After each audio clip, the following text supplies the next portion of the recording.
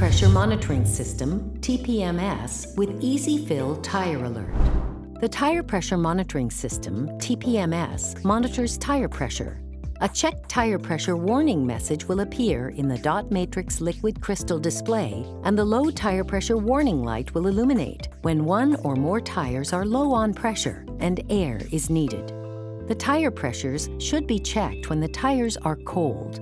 The tires are considered cold after the vehicle has been parked for three hours or more or driven less than one mile at moderate speeds.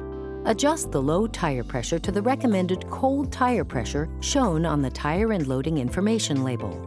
The TPMS also includes a tire inflation indicator, which provides audible and visual cues that indicate when the tire has reached the recommended cold tire pressure. After stopping the vehicle, move the shift lever to the park position and apply the parking brake. Then place the ignition switch in the on position, but do not start the engine. After exiting the vehicle, add air to the underinflated tire, and within a few seconds, the hazard warning lights will flash. When the designated tire pressure is reached, the horn will beep and the hazard warning flashers will stop.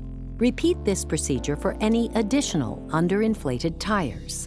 After tire pressures are adjusted, drive the vehicle at speeds above 16 miles per hour.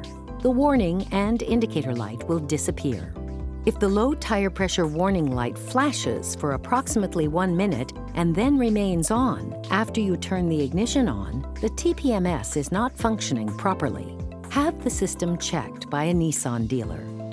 Tire pressure rises and falls depending on the heat caused by the vehicle's operation and the outside temperature.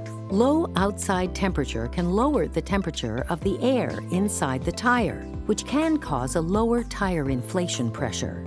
This may cause the low tire pressure warning light to illuminate. If the warning light illuminates in low ambient temperature, check the tire pressure in your tires. Check the tire pressure, including the spare tire, often and always prior to long distance trips.